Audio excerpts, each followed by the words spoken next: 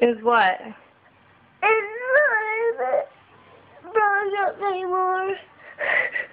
And that makes you sad, cause why? Because he just went to the Jets. I know, when why did, it's not fun that he went to the Jets? Yeah. Yeah, who else are you sad about? Eddie Royal. Yeah, do you, are, you- are you excited about Peyton Manning?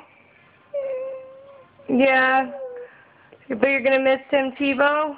Yeah. Cause why? Cause Tebow is just your favorite? Yeah.